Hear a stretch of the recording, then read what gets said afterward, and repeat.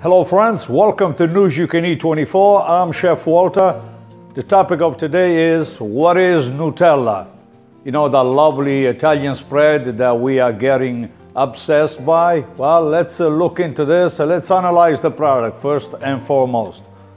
Nutella is a sweet hazelnut cocoa spread made by Ferrero, an Italian company that's the largest uh, chocolate producer in the world, or one of the first three, anyways. It was originally invented by Pietro Ferrero, an Italian baker in Piedmont. And the idea was uh, he added ground hazelnut to a uh, chocolate spread uh, because there was a shortage of cocoa in Italy right after the World War II. Today, of course, people around the world consume Nutella mostly as a topping for breakfast toast, pancake, waffles, muffins, and of course, you've seen in your local restaurants under the dessert compilation. Lately, the company has been pushing the brand that to be reclassified, and so they have uh, cut the, the serving size from two tablespoons to one. And for those who don't read the labels, uh, information, they may think that Nutella is low in sugar, fat, and of course, calories. But let's look into the actual ingredients. So I bought myself a Nutella jar and I was reading it. So first and foremost on the list is sugar either from beet or refined cane sugar. Second on the list, palm oil. Palm oil is the fruit of the oil palm tree. Palm oil gives Nutella the creamy texture that you see and the spreadability. Then you have a hazelnut. And hazelnut is 100% pure hazelnut paste, which is added to uh, the spread. And uh, the Nutella company, the Ferrero company, says that there are 50 hazelnuts to each jar. Fourth component, it's cocoa. The majority of the cocoa bean used in Nutella does come from Western Africa, and that is of good quality. They are processed into a fine powder and mixed with the, uh, the rest of the ingredients.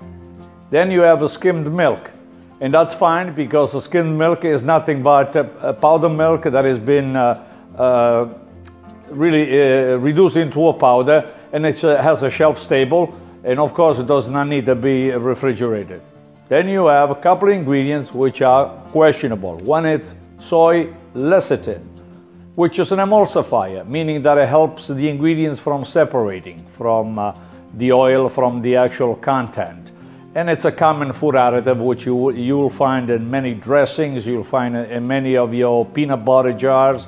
And lastly on the list is vanillin, which is a flavor component found in vanilla bean extract. Now, Nutella contains a synthetic form of vanillin. And so while the company, the Ferrero company, is advertising uh, as a hazelnut spread uh, of good quality, sugar is first listed on the ingredient list. And this is because the sugar, it's its primary ingredient and maintains a 57% of its weight. So that means that 57% of the weight of a Nutella jar is composed of sugar first. So if we look at some of the numbers, two tablespoons of Nutella, for those of us, those of you who loves it, contain 200 calories, 12 grams of fat, and 21 grams of sugar. And then we have, of course, protein, calcium, and iron in a smaller percentage. Is Nutella healthy? Well, the company does boast simple and quality ingredients such as hazelnut and skim milk but never really mentions the remaining of the ingredients, which is mostly sugar and fat. And let's not forget that the American uh, Heart Association recommends that women and children consume no more than six teaspoons of added sugar per day, while men can do a little bit better at nine teaspoons of added sugar per day. When you look at this number, we realize that Nutella should be properly kept to a minimum. The spread does have some quality ingredients which are natural. It does not contain high fructose corn syrup, hydrogenated oil, or artificial food coloring, all of which are ingredients of concern for the health conscious consumer. Should we eat Nutella? Like any other high sugar foods that you see in the market, Nutella should be viewed as a treat.